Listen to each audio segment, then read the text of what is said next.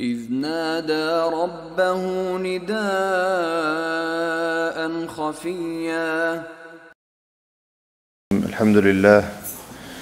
الحمد لله رب العالمين والصلاة والسلام على رسول الله الكريم وعلى آله وصحبه وسلم تسليما كثيرا يا رب العالمين. اللهم لا علم لنا إلا ما علمتنا إنك أنت العليم الحكيم. اللهم تب علينا إنك أنت التواب الرحيم. السلام عليكم ورحمة الله.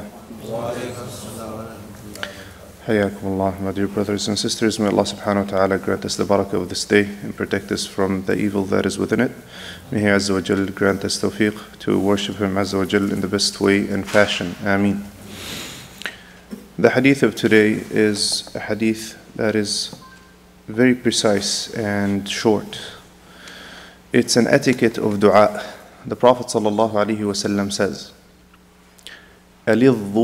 ألظوا بياذ الجلال والإكرام ألظوا بياذ الجلال والإكرام ألظوا in short means make dua recite this dua but in specific linguistically it means that make sure that your tongue does not leave it make sure that your tongue does not leave it ألظوا بياذ الجلال والإكرام with O Allah, the one, the possessor of majesty and honor.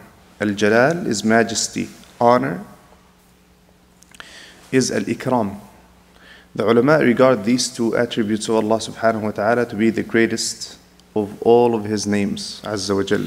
Ya Dhal Jalali wal Ikram. So, subhanAllah, when making dua, always Ya Dhal Jalali wal Ikram and fill in the gap with your dua.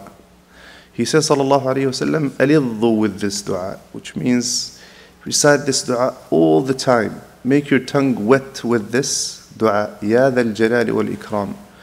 Allah subhanahu wa ta'ala has attributes. وَلِلَّهِ الْأَسْمَاءُ الْحُسْنَى فَادْعُوهُ بِهَا Allah commanded us through the Quran to make dua to Him Azza wa Jal using His names, using His attributes.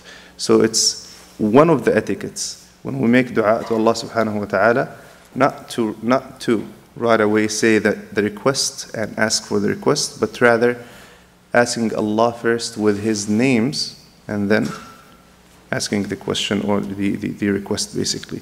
So you would start introduce your dua with the name of Allah subhanahu wa ta'ala or Alhamdulillah or praising Allah subhanahu wa ta'ala. So this is one of the uh, adab and etiquette the Prophet ﷺ taught the Sahaba radwanullah alayhim and taught us uh, sallallahu alayhi wasallam through the hadith of his sallallahu alayhi wasallam. So يا ذا الجلال والإكرام اغفر لنا يا ذا الجلال والإكرام أكرمنا يا ذا الجلال والإكرام فرج عنا يا ذا الجلال والإكرام grant us رحمة يا ذا الجلال والإكرام grant us victory and ease يا ذا الجلال والإكرام أكرمنا Grant us your karam and from your generosity. Ya dhal jalali wal ikram. What a beautiful, easy introduction for your dua. May Allah subhanahu wa ta'ala accept our dua. May He Azza wa Jal make us amongst those who uh, uh, beseech Him in, in public and secret all the time. And uh, that we always rely on Him Azza wa Jal. Allahumma ameen. Allahumma salli wa sallim wa ala Sayyidina Muhammadin fil awwalin.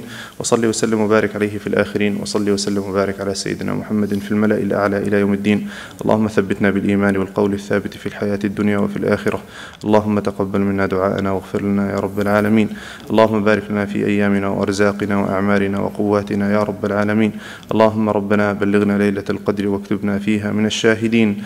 اللهم ربنا بلغنا ليلة القدر واكتبنا فيها من القائمين. اللهم تقبل منا دعاءنا وصيامنا وركوعنا وسجودنا بين يديك يا رب العالمين. اللهم لا تحرمنا لذة الصلاة في في المساجد يا رب العالمين. اللهم ربنا لا تحرمنا صحبة الصالحين أبدا ما حيينا يا رب العالمين. وصل اللهم وسلم وبارك على سيدنا محمد والحمد لله رب العالمين. جزاكم الله خيرا.